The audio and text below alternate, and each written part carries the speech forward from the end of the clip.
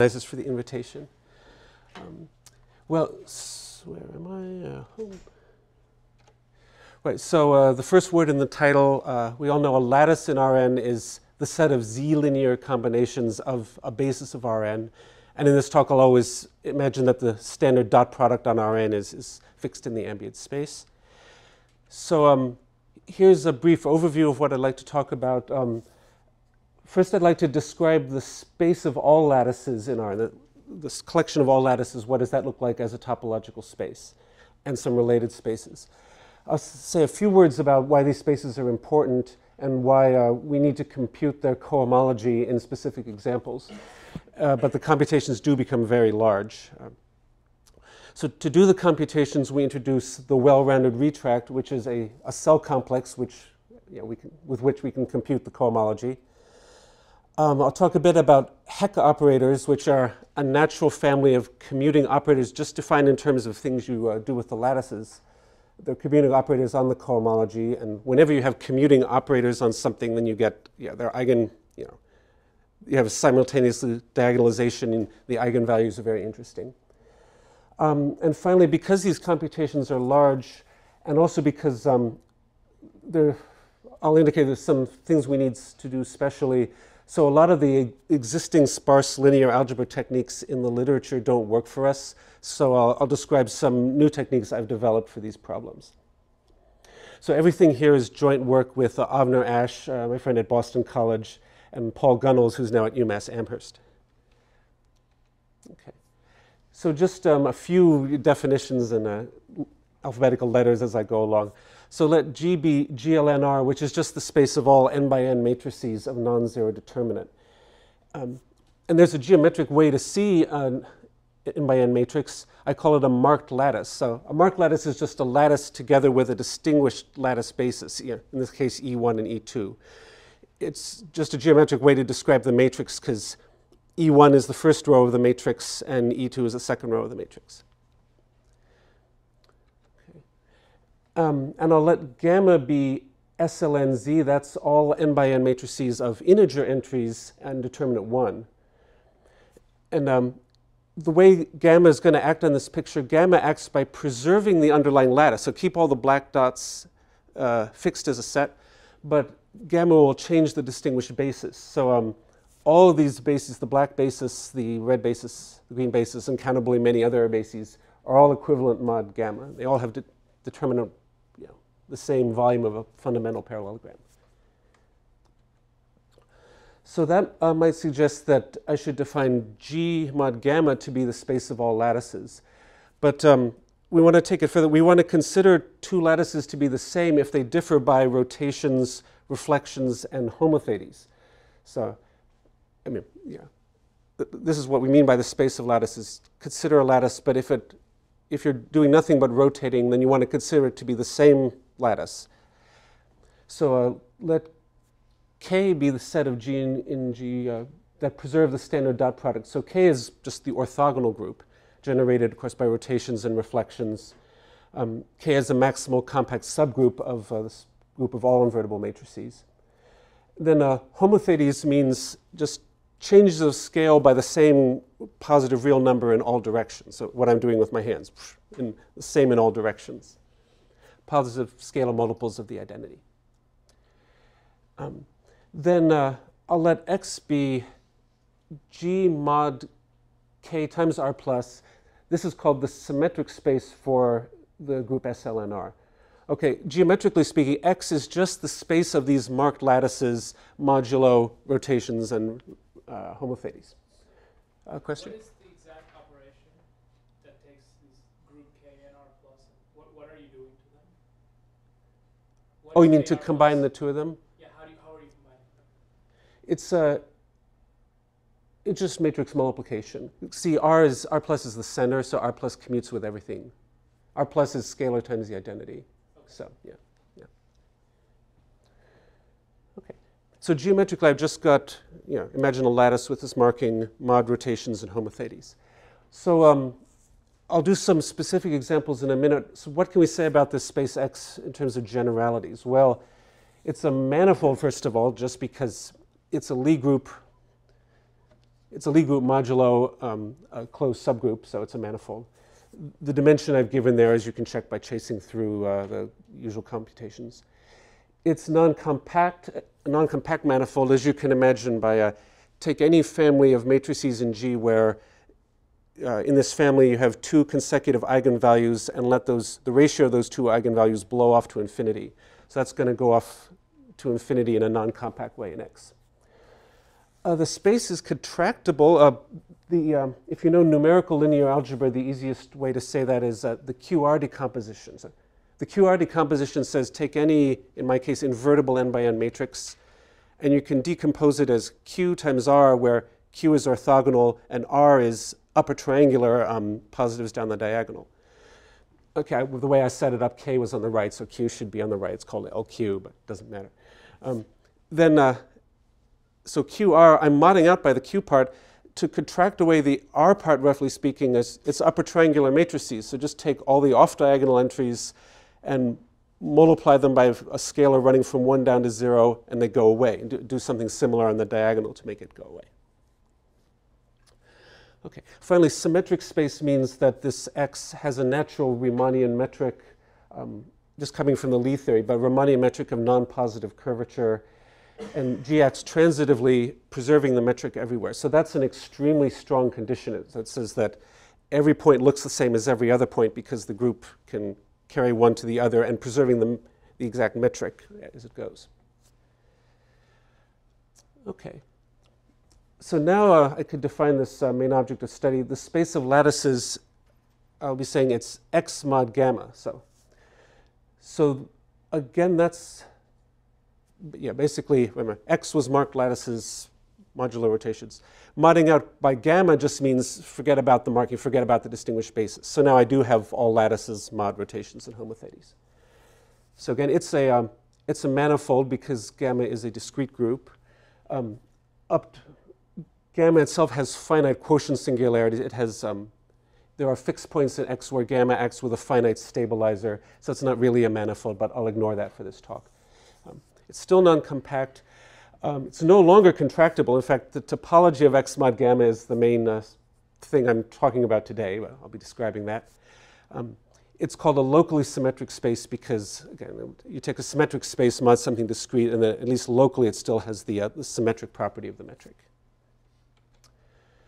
Um, a little digression I need to go into for two slides. Um, I said gamma was the set of all n by n matrices of integer entries in determinant 1 I need to consider uh, certain subgroups of that of finite index called congruent subgroups. I won't write down a formal definition, but uh, the main example uh, that we use in our work is um, this uh, group called gamma naught of n, where n is a fixed uh, integer greater than 1.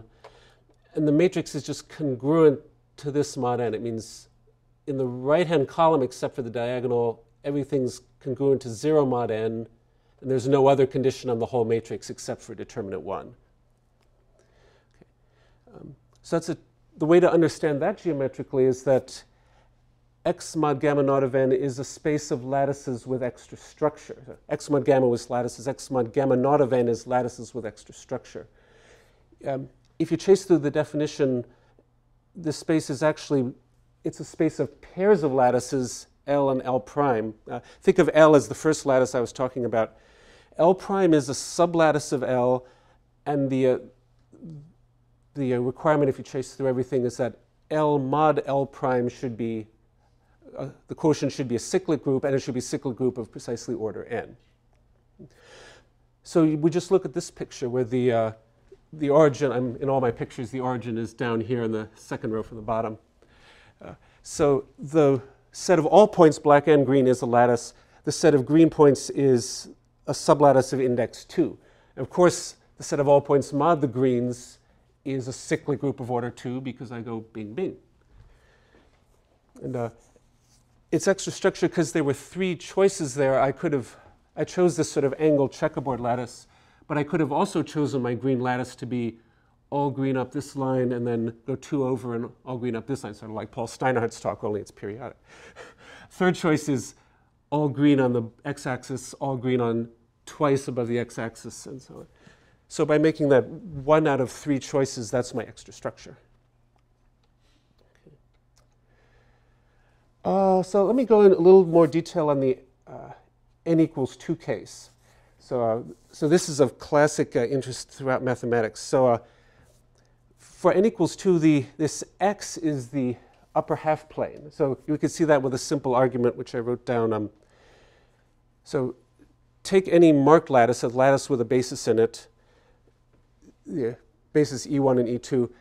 I said I consider lattices the same if I uh, do rotation. So I'm going to rotate E1 so it points to the right along the x-axis. Then I said they're the same if you do a homothety. So I'm going to rescale in both directions till E1. I don't care where the basis is. You can make the choices a different way. You can um, take your lattice again from scratch and ask yourself, what's the shortest vector in the lattice? You, that's an NP hard problem in general, but in, in abstract mathematics, you find it right away by looking is take the shortest vector, rotate it down to the positive x-axis, and uh, stretch it out to be a length 1. Then uh, there's, there's some other basis vector in the lattice. Because the first one is the shortest, the second basis vector has got to lie outside of this circle, up here somewhere. So let's say the shortest basis vector were over here, but now it's a lattice and the lattice contains the uh, vector of length 1 horizontally, so it must also contain this point over here where I, where I can move in the lattice length 1 horizontally. So this argument shows that uh, any lattice has a basis where the first one's at 1 and the second one is in this gray region. So this gray region is a fundamental domain for the action of gamma on the upper half plane.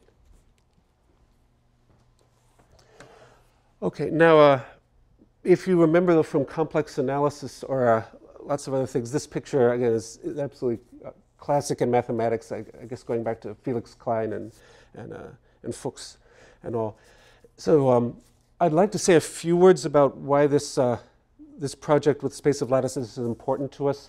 Now, this, this is not the number theory seminar, so I'm just going to keep it extremely high level in one or two slides. But uh, this picture immediately suggests that, um, or reminds us that modular forms are holomorphic functions on the upper half plane with a, they obey a certain transformation law under gamma.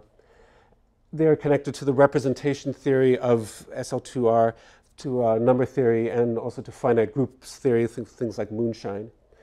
Um, X mod gamma is the moduli space of elliptic curves, at least over the complexes, because you know an elliptic curve over the complexes, it's well, it's a complex torus. So that means you take the complex plane and mod out by a lattice, and you get the torus. But in the lattice, you don't care about rotations, and uh, by the theory, you also don't care about homotheties.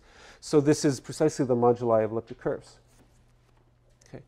So this whole circle of ideas, modular forms and elliptic curves, of course, is central in, number theory. Perhaps The most, the best known you know, work maybe of the last 20 years is uh, proof of Fermat's last theorem and the whole you know, semi-stable elliptic curve story.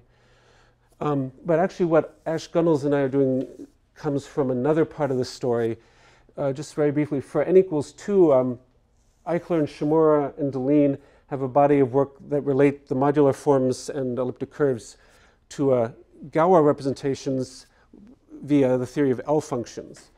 So in one sentence at the bottom, our project, you know, my project is to do computational tests of analogous conjectures for um, n equals 4.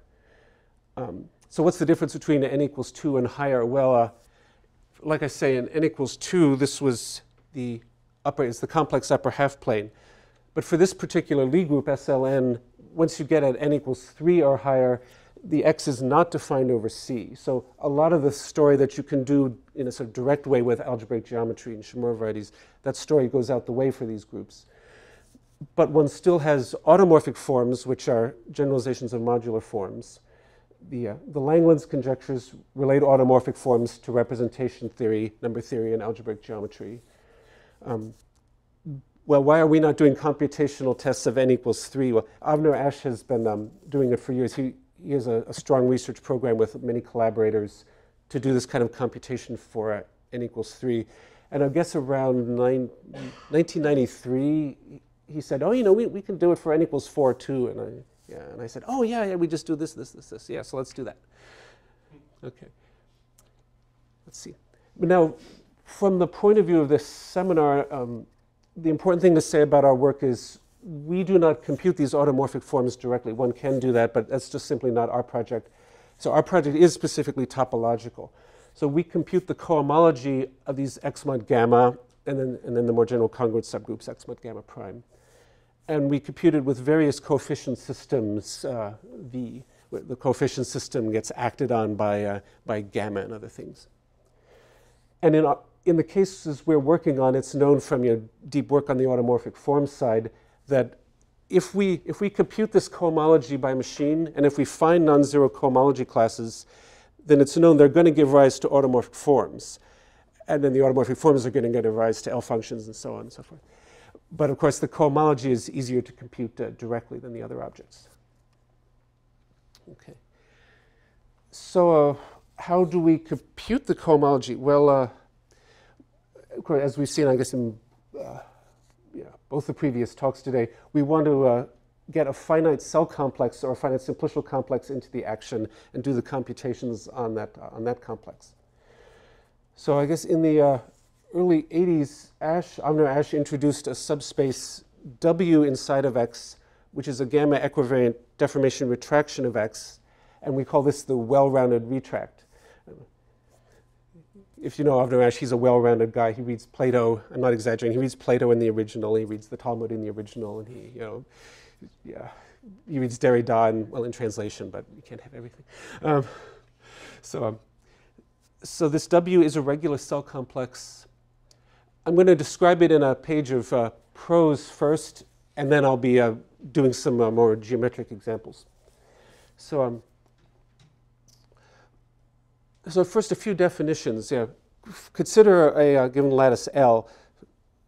The minimal value of the lattice L is going to be the shortest length among the lengths of all the non-zero vectors in the lattice. So it's just what's the shortest length from origin out to a point of the lattice. And the minimal vectors of L are points in the lattice that attain this minimum, whose length is m of L. So here's a, a, the way you characterize the well-rounded retract cells. Um, if a lattice L has a certain set of minimal vectors, you, you color them red or something, check them off. Then you want to deform the lattice by uh, you know, shearing motions or bending certain angles open while keeping it a lattice. If you can deform your lattice into another lattice L prime and you never change the set of minimal vectors, then L and L prime are in the same open cell of the well-rounded retract. Now, uh, so what, what about closed cells? Well, a lattice L prime is in the closure of the cell containing L. If, if when you deform L into L prime, there's a moment at the end of the deformation when you suddenly get more minimal vectors than you had yeah, from L. Okay. Again, I'll, I'll, be showing pictures of that in a moment. Um, another thing to say is the retraction uses several steps, and in, in each step, we're going to have a vector subspace sitting inside the lattice that's spanned by a subset of the lattice, sort of rationally. And we're going to, in the well-rounded retraction, we deform L by taking that subspace, fixing all the points in it pointwise, and then shrink Rn, shrink the ambient Rn in all directions orthogonal to S. And that's going to shrink the lattice that way. Um, by the way, I mentioned the metric, uh, the, yeah, the symmetric metric on the symmetric space earlier. Um, it turns out that all the shrinking motions in the well-rounded retraction are actually geodesic flows in the technical sense in the Riemannian manifold. So that, that's a theorem Ash and I proved in 96. And uh, when you study the compactifications of X mod gamma, you, you have to flow out toward in the uh, infinity. And we, you know, we studied how flowing out toward infinity relates to flowing inward toward the well-rounded retract. Okay, well, I apologize for the garishness of this picture, what I've done to Klein and Fricke. But uh, uh, this red thing is the well-rounded retract for n equals 2. So let me, uh, let me describe how this goes. So let's, let's pick an arbitrary point in, in uh, the space of lattices, and then I'm going to show you how to retract it onto the red set. So um, for, I'll pick, again, the lattice where one basis element is a vector stretching from 0 to 1 and then another basis vector stretches up here again. It, I'll choose the second vector to be longer than the first vector, so it lies outside this circle. And uh, I, did, I did my sliding trick to slide it into the fundamental domain. So the, uh, the well-rounded retraction just says, well, I told you down here this was the shortest vector in the lattice. So that's, that's a minimal vector. We're going to take the linear subspace through the minimal vectors. There's only one of them, so that, that's a line. We're going to take this line. And in all directions orthogonal to the line, we're just going to shrink uniformly. So in this picture, two dimensions is very simple. It's just a uniform downward motion. So the, the well-rounded retraction, what it does to the basis is leave the bottom one, what's wrong here? Leave the bottom one fixed. And the vector going up here gets shrunk vertically down until it hits this arc. And then it, then it stops. Let's see. So now we could see why this is a regular cell complex, at least in this picture. So this whole two-dimensional region is going to flow down uniformly and lie on this arc. So this arc is, well, it, in the case of n equals 2, w is only one dimensional. w is just a graph. So this edge is one of the edges of the graph. Um, there's another fundamental domain like this. It flows, the, the whole retraction is gamma equivariant, which means it flows down in a similar way here. But up to gamma equivalence, this arc is the same as that arc, just because this domain was could be carried to this domain. Um, gamma equivariance also means that from here, actually the geodesics in this Klein picture are you know, circles that are mutually tangent, you know, perpendicularly at the origin. So the retraction flows up here along those circular arcs. And in this, this bottom region, here's the fundamental domain, and it flows up to the bottom of this arc and so forth. So Question? obviously a general principle here. So Yeah. how do you know that your your collapsing that you're doing is Mhm. is equivariant? I mean, is it like you look at the fibers of your retraction, they should not cross the fundamental domain, or something like that? Yeah. How do you? Well, yeah, it's um, like I said, you've, you've fixed a subspace, uh, so rational subspace S in the lattice. You're moving orthogonally down, and you, you basically, yeah, yeah. I should introduce the notion of uh, it, whatever lattice you're picturing. Imagine the sphere of radius one around the origin, sort of as a, as a glass thing that's not moving. And you just ask yourself the question: as I shrink in my lattice, what's the first point of the lattice that's not on S that's going to hit the sphere? And uh, as soon as something hits the sphere, you stop. That gives me the next bigger dimension of S. Then I fix that S and shrink in the other directions. So I'm not sure that Well, it doesn't directly. was why is it gamma invariant? Yeah. Why is Yeah. this retraction? I mean, it looks like it's not crossing anything. Yeah. You know.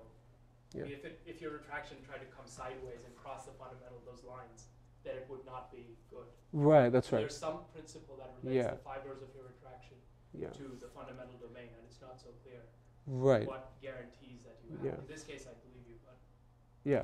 So, so in the three-dimensional case, let, let's say we have a uh, we have a plane that's that we are fixed and that we're shrinking down in the third dimension, orthogonal to the plane. The, the reason it's gamma invariant is if I have a plane through my lattice, then uh, there's some you know, finite distance where there's nothing in the lattice, and then there's another plane through the lattice with the next set of points on it. You know, this, so that y- yeah, call that like the plane one unit higher or something. The plane one unit higher is studded with these lattice points, and uh, it's one of them is going to hit the sphere first when I push it down. But the reason it's gamma equivariant is all those points like were equivalent under the translation group of gamma. So each, you know, under translations, each one of those points had an equal chance to hit the sphere first, and one of them does, and that's where you stop. But, okay, yeah. That's right. Okay, let's see. Any any other questions? Okay, um, let's see what. Uh, to s- I think in, in talking and gesturing, I've already uh, suggested how the well-rounded retract uh, goes for uh, for uh, n equals c in 3 space. If the lattice, is in general position, you can um, first, first just take any lattice and take a sphere at the origin of unit radius. shrink the whole lattice in by a homothety until one point touches it. That determines a line through the lattice. Now fix the line and go consider cylinders going around the line. Shrink the cylinders in in a uniform orthogonal way. then generically just one second point is going to hit the sphere. That determines a plane.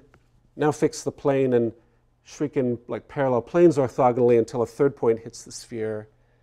And that's the whole retraction.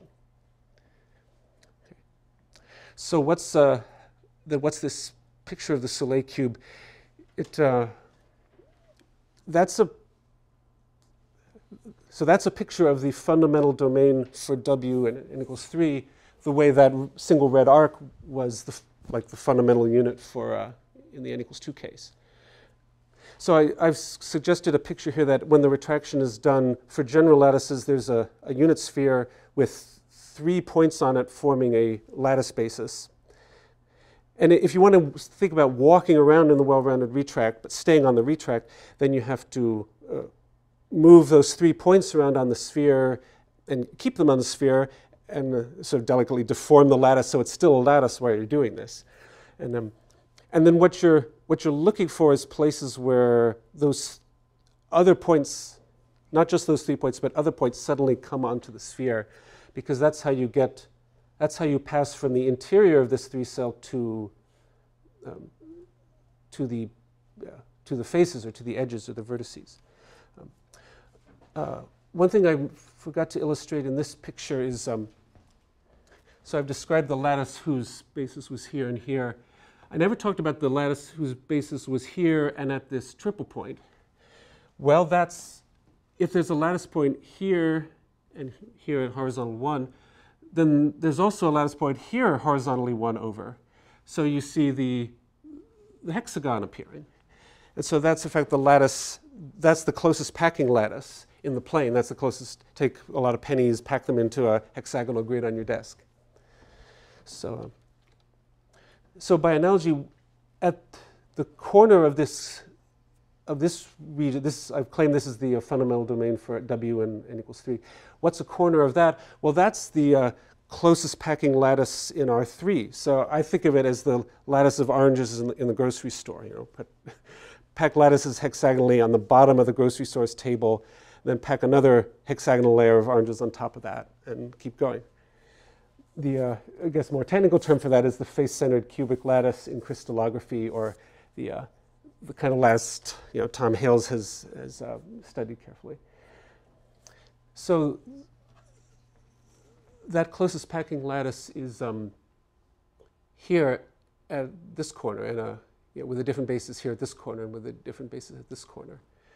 Um, so how could I walk from this point, say, into the into the two-dimensional face here? Well, that's why I brought my cuboctahedron. Um, so this cuboctahedron is you take the ordinary cube and truncate off the eight vertices, and you, you truncate them so that they touch at corners that used to be in the edge centers of the cube. So it turns out this the, this cuboctahedron, excuse me, this cuboctahedron has 12 vertices, and those 12 points together with the point in the center, which I've used the origin, those are centers of the spheres in that closest uh, orange packing. So this is a convenient way to look at it. So I so imagine this. Um, there's a sphere that the circumscribed sphere of this thing goes perfectly through all of the 12 vertices on the outside. So now I'd like to ask, how can I deform this sphere? It's not it's wrong word. How can I deform the lattice so that not all 12 points are on it, but you know fewer are on it? And how can I um, explore what kind of degeneracies I can get? Well, if I hold it up to you this way, you can see a hexagon going around it. So uh, by slicing through the lattice, there shows, that shows there's a, a, plane where the lattice points make a hexagon, you know, the, one of the oranges planes. So let's, let's say now I'm going to try to deform this and get us into this hexagonal face. So I put my fingers around the hexagon and view all the lattice points in that plane as fixed and I'm going to take this top point here, move it, on, slide it on the unit sphere just a little bit down. Well, it's still a lattice, so this plane has to move parallel, and these points have to come off, so they're going to come down a little bit. But since this is on the sphere and this is a triangle, these have got to get longer. So now I have a thing where the minimal vectors are a hexagonal lattice in one plane, one point in a third dimension, and, nothing else is minimal anymore. And of course, I have two degrees of freedom when I um, to yeah, move that thing around be- because it's one point on a sphere and I can move it around in a two dimensional way. So that's why I have a two dimensional face here. Why, uh, why is it a it's a hexagon because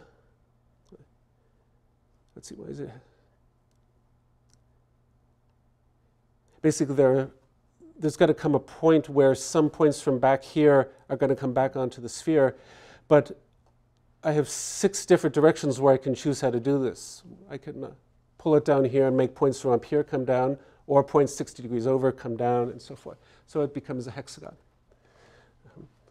Um, why is there a triangular face here? That's not the face-centered lattice, but that's the body-centered cubic lattice. The body-centered cubic lattice is, imagine your, I think of it as imagine your standard Z3 you know, cubical lattice, and then checkerboard it with you know, evens, odds, evens, odds, and take away all the odd points. So take away uh, half of the points. So the um, you can take this, consider the circumscribed sphere of the eight points on the, you know, on the outside. So what are the ways I can deform that thing? Well, I could take that cube and I can make it a box that gets longer this way and the way to make it get longer this way and still stay on the sphere is I have to shrink the squares on the sides by some kind of cosine thing or something. So that's one degree of freedom I have is to make it long, but you know, a, a long rectangular box, but a little narrower. Second degree of freedom is make it tall, but a little narrower this way. Uh, a third degree of freedom is to go out this way, but that's equivalent to a, a combination of the first two through, uh, through the homotheties. You know. ABC equals 1 is up to logarithms, a, a two-dimensional thing. Okay, well, that's some. Okay, so that's. Maybe you should say the body-centered cubic lattice is right in the middle of that triangular face. That's right, yeah, the body-centered cubic lattice itself is right here, and then I've been moving away from it in a two-dimensional way. FCC is where? What's that? Where's FCC? Because you can distort BCC. So FCC is the vertices of this thing. So you can, so each of those three things are the, are the stretches of the BCC lattice that make the FCC lattice. Yeah, that's right, yeah.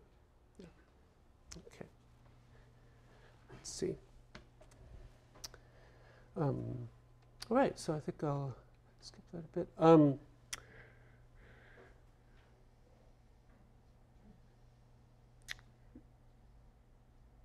that's right.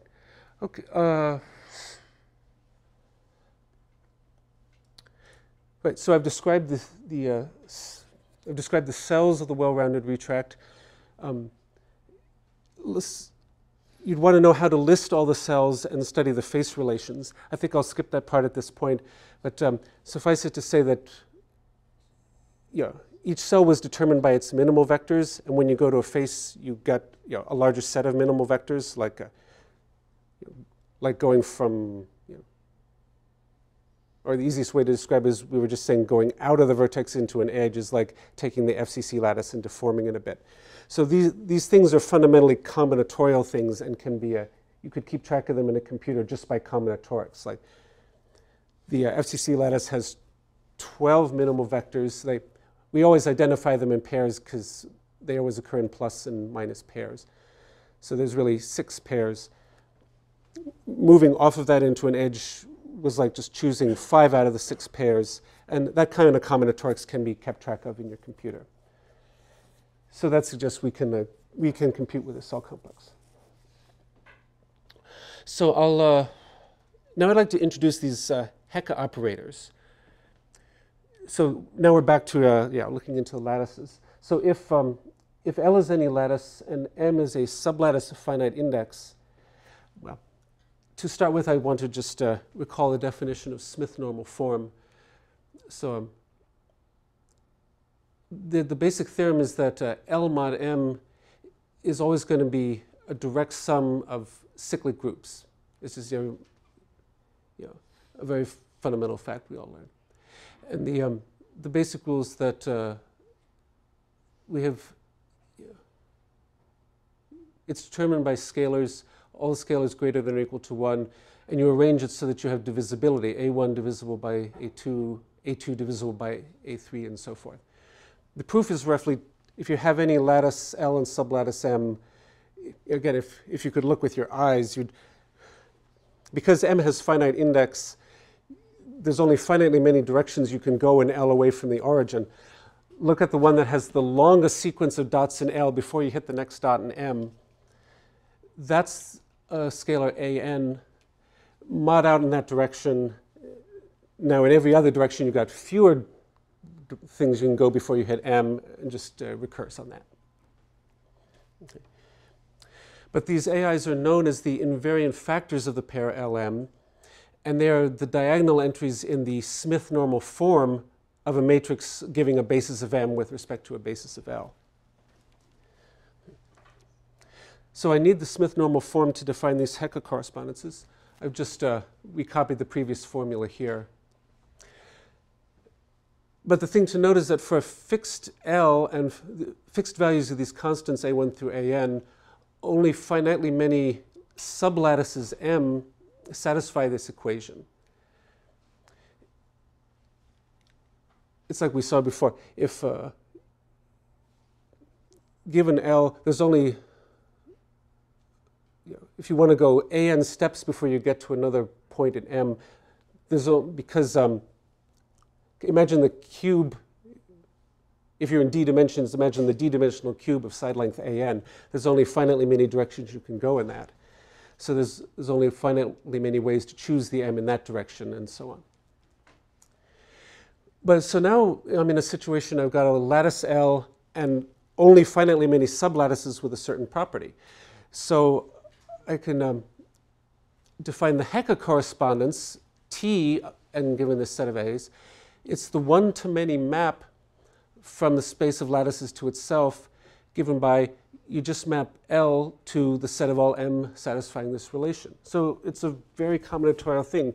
Given one lattice, consider all its sublattices M with this fixed quotient property and just take the set of all of those M's. A one to many map. Okay. So here's uh, an example very similar to the one I did in green. Um, but uh, the Hecke correspondence T1, 2 in, for the uh, two-dimensional case, it's generically a 1 to 3 map because, again, given a lattice, there's only, and again, the origin is always second row from the bottom. There's only three ways to uh, put an index 2 sublattice in, the horizontal way, the vertical way, and the checkerboard way. So the Hecke correspondence maps the one, the one lattice that consists of all the points and it maps it to the three lattices consisting of this red lattice, that red lattice, and that red lattice. Okay. Now, it's just a correspondence. There's no algebraic structure on it yet, but we can take formal z-linear combinations of these correspondences, and we can compose them, and this makes them into a ring. Um, it's a commutative ring, essentially, because L itself is commutative. Yeah and because we're taking all possible sublattices, say take all possible sublattices of index 2, and within them take all possible sublattices of index 3, and you're going to get all possible sublattices of index 6, and up to how you index them, it's going to commute. So it's a commutative ring. Then there's a, a general fact that the Hecke correspondences, at least for SL and Z, form a ring on these generators. You um, as I suggested by saying two and three, you, uh, yeah, you split it up by the primes, and you, uh, a basis is you take T111 PPP with k copies of the P for k running from 1 to n. And that, that generates everything. So uh, you could consider you know, sublattices that are of index p or sublattices that are of index p squared, but the the, uh, the two p's have to be in different dimensions and so forth. Now, uh, the Hecke correspondence, because it's like it's picking up a point in your topological space and smushing it down to a finite number of other points of the space. Um, so something like that is going to act on cohomology. 'Cause, uh,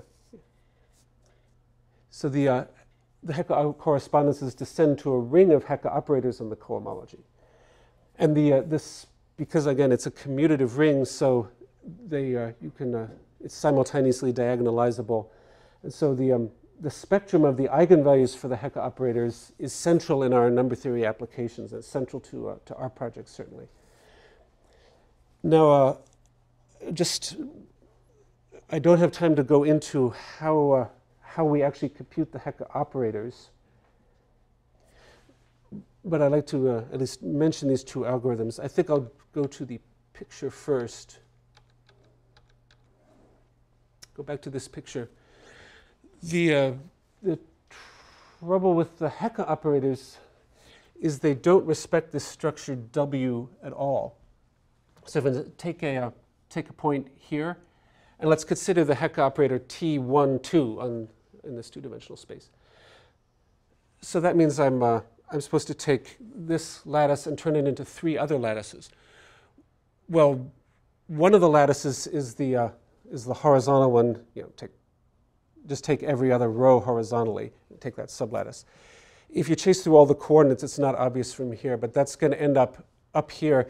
It's, the way you get to it is you draw a diagonal line from here to here and just double the diagonal line's length. And that's, so the image, one of the three images of the correspondence is up here. And the, the other two have slightly more complicated things. But the, uh, the fact that I said take a diagonal line, that's the bad news already because the well-rounded retraction, and I said, was at least from up here flowing down vertically. So, and the diagonal line doesn't respect the vertical at all. So in fact, the, the way to think about the Hecke correspondence is it doesn't just move a point to three other points. It moves this whole red graph to three other graphs. One of them is like up here, and the cells don't intersect the cells of this in any nice way, and the, the other two are down here in a complicated way. So, so to consider this action on, in this case, homology, you'd have to lift this graph up by a factor of two. This arc would now get twice as big. So one of its corner points is like lying over this midpoint, and the other corner point is lying over this midpoint. Now you got to push it down by a retraction, but so the arc was arcing up. So if you push it down and its endpoints touch here, you then have to push it down further so that it goes down into this corner and down into this corner. I mean, you can do this in the, you can do these computations in the case of T1, 2, but then trying to do them for general Hecke operators T, like PP, and to do them for uh, n equals 3 or n equals 4 is much more daunting. Um, I got to tell the story of, of Ramakrishnan's dream. So uh, we were, there was a meeting about this general kind of stuff at uh, Montreal in, I guess, 1988. And uh, Dinakar Ramakrishnan had been thinking about how do we uh, compute Hecke operators in a topological way. And then he talked to us one day about it. Then that night he had a dream. And in the dream, he saw the images of all these cells doing the thing I just said and falling, after the stretching, falling back down on each other and having to be bent in this way to get back to the original complex. And he came in the morning and saying that the dream had shown him that you, you can never compute Hecke. Okay, I won't say never. Yeah, he said it would be so hard to compute Hecke operators in, these, in this way. Look at all this complexity. So later I told this gentleman in the front row about this dream of Dinakar's, and uh, Bob said, well, I have my dreams too. so, and um, perhaps I should say then that Paul Gunnells, Bob's student, has realized this dream in some cases. Well, okay, so to describe algorithms for computing Hecke operators in this well-rounded retract context, uh, first I've got to mention Avner Ash's own algorithm with, uh, with Lee Rudolph back around 84, I think. So um, their algorithm has, has the great virtue that it generalizes continued fractions from n equals 2 to all n, but it, uh, it only works for the top degree cohomology. I'm going to let nu be the degree of w. It only works for the top degree cohomology of, uh, of, of the space we're computing. The, the top degree cohomology is because I've suggested that when these generic, when you, know, you, you take a generic lattice and retract it, you're going to hit the, you know, the generic top dimensional cell. And I suggested that's when you have exactly n minimal vectors on the sphere and not more. So then you're working with an n by n matrix, and if you do certain changes of coordinates, it's an integral matrix. And you can imagine uh, continued fractions is just a, can be regarded as uh, an operation on a two by two matrix, so like finding the continued fraction for uh, five halves or something as you make a matrix five, two, one, zero, and then you do some like Euclidean operations on it and you get the result. So Ash Rudolph has uh, generalized that to, uh, to uh, n dimensions. But uh, in our work, as I'll mention in the next slide, we needed we needed to get away from the top degree cohomology. Top degree cohomology in any space is always a bit easier than uh, others because you know that all the cocycles, you know that everything's a cocycle because it's top degree cohomology. The boundary is going to send everything to zero. So you only have to worry about, in cohomology, about the quotient by the boundary matrices. But uh, when you're not at the top degree, you have to worry about both. So uh, Paul Gunnells came up with a very elegant algorithm for doing this using something called the Sharbly complex, which, yeah, I can't describe the Sharbly complex, but it's, uh, roughly speaking, you'd consider these sets of minimal vectors, but you, you also allow yourself to consider one or more other vectors. It's the kind of formal complex we get in topology sometimes where you, uh, you take all vectors, all integer vectors uh, forming a certain kind of rectangular matrix. So it's a, a thing with a countable infinite basis in every dimension but you can prove it's homotopically equivalent to the uh, complexes we study. And with that extra freedom of using all integer vectors, he, uh, and like building roofs over cycles and things like that, he, works out an algorithm for Hecke operators. Okay. So, um, well, this is just a summary slide. The, the rest of the talk is on a particular paper where uh, we do our, our computational work of this type for n equals 4 with uh, constant coefficients over the complexes. From now on, this group gamma prime is going to be the group gamma naught of n I defined earlier. So, uh, wait, yeah. Back to the last slide. Is that the state of the art at the moment? Um, I believe so, yes. Yeah. Less than the one degree down for even for Yeah. SL4, you don't know how to do it. I, th- I think that's yeah, I think that's right. Even for even two degrees down, I don't think he knows how to do it. And then we, we've also tried to generalize to the symplectic group, and there we think we have it, but then we don't quite. Yeah. Okay. All right. So in the uh, so in the last few minutes, as I've indicated, the um, these computations are going to get very large. So um, it's easy to see how I'm, a, I'm going to say that the um, size of these matrices is proportional to n cubed, where n was this constant in gamma naught of n. Basically, uh, well, yeah, okay, I won't, yeah, I won't attempt to justify it. There's a parameter n. There's a parameter n in my uh, in the definition of the groups I'm considering. Basically, in uh, imagine Z4, and if there's a parameter n in it, it turns out that the number of cells I have to consider grows as n in the first dimension times n in the second dimension times n in the third dimension. And it would be times n in the fourth dimension except for something about the homotheties. So, uh, so it's growing as n cubed. So, so the number of cells of any given dimension in the well-rounded retract grows as n cubed for the family of subgroups we're considering. So that means the size of the matrices grows as n to the sixth. Okay. Because um, in our particular application, we need to look at H5. So I'll be, um, because H5 is, you take the boundary maps D5 and D4 in a chain, in a co-chain complex, and with D4 times D5 equals zero, that's how you index it. So those are the sizes. We, uh, the uh, largest group we considered was where th the matrix D4, which is the bigger of the two matrices we want to reduce, is about a million by 3.2 million um, in size but the, these matrices are very sparse, though. They're, um, they've only got about six entries per column and about 26 per row if you count up everything.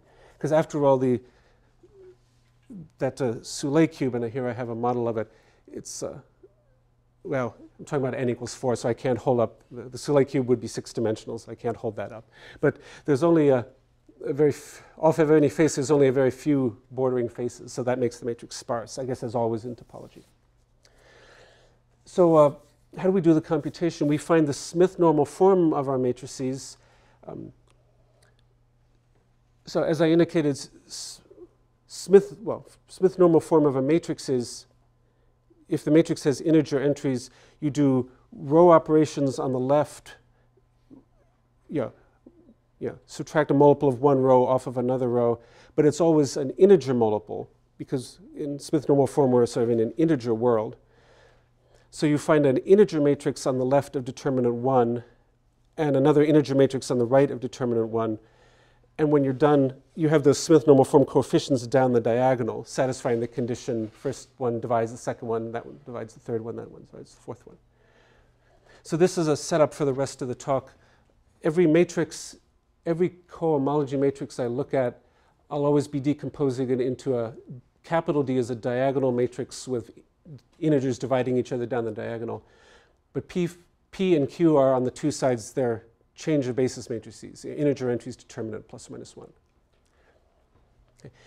I remark here we prefer to work over Z because that's arbitrary precision, because then we can compute the torsion of our topological space. Uh, like in these examples, the torsion tends to be sort of small but non-trivial. I mean, even for, for these things with millions of cells, the torsion might be, oh, there's something Z mod 11 somewhere in the cohomology. I, I don't know why it's 11, but okay. But um, uh, in practice, though, we find that uh, when we do linear algebra with integer entries in the matrix, you get integer explosion as you do it. So uh, after a certain point, we have to stop.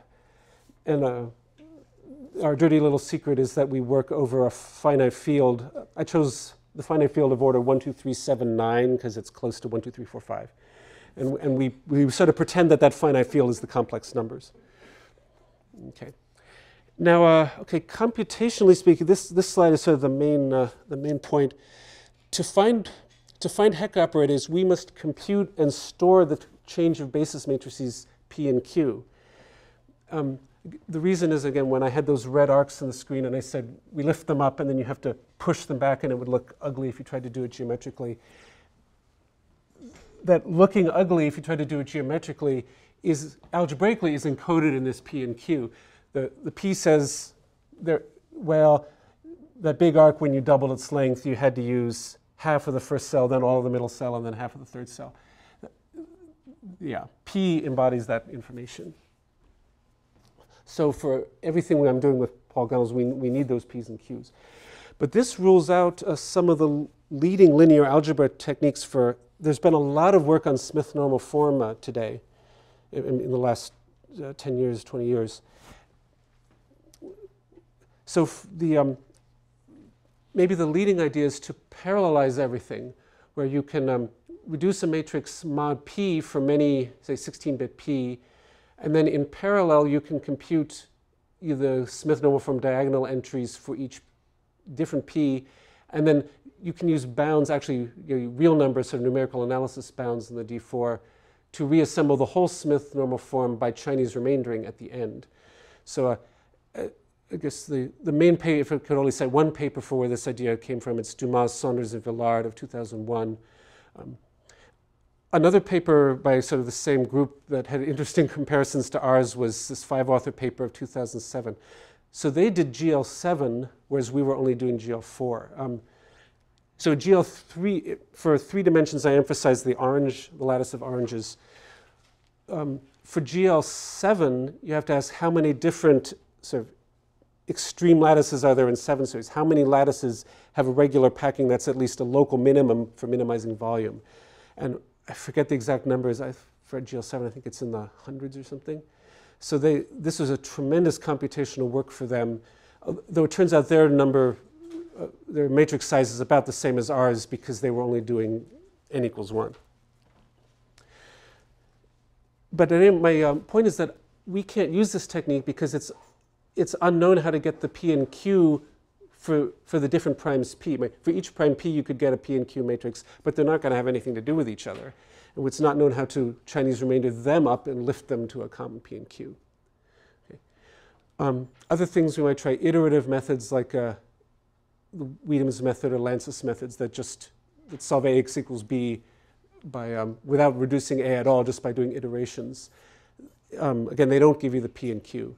Um, people have asked whether these matrices have a block triangular form or a banded diagonal form like in PDEs. Uh, the answer is when your well-rounded retract is of dimension 6, then the matrices would have a beautiful banded diagonal form if you could view them in dimension 6. But you can't. We, matrices live in dimension 2. They're, a matrix is a projection from dimension 6 down to dimension 2. So, okay. So the, um, the techniques or the software I've developed to uh, answer this question instead is, uh, I call it Sheafhom. Um, so it uses cl more classical methods like Gaussian elimination, but it orders the steps differently. And um, I was able to solve that million by three million matrix on a uh, four gig Linux laptop which I didn't bring today, but it's, uh, it's still going strong. The, the code is available at my uh, website here. it's, yeah, it, it, reduced a million by 3.2 million and survived. So very briefly, I could say a bit about the techniques I, um, I use in Sheafhom for this kind of problem. The, uh, the first is a uh, algorithm. This, Markowitz is not due to me. This is a good idea from the 70s. But so the, uh, the main problem with sparse linear algebra is fill in. So here's the idea. So here's a matrix, and you want to do row and column operations to reduce it. And let's say you've identified this as a pivot you want to work with. The, um, the main idea is that, you see, below this pivot, there are three non-zeros, and also next to this pivot, there are three non-zeros. The claim is that in general, after you row reduce by this pivot down here, and then also column reduce across, you're going to have nine non-zeros here. It's the reason is use this pivot to cancel all of these. Say this was 5, then 5 times those three numbers are going to get added to those three numbers. Well, because it was sparse, you know, these zeros suddenly become non-zero. And by the law of averages, this number, whatever it was, doesn't equal 5 times that number. So they'll all be non-zeros. So, so the Markowitz count is r minus 1 times c minus 1. For any given pivot, it's number of non-zeros below it times minus 1 times number of non-zeros to the right of it, minus 1.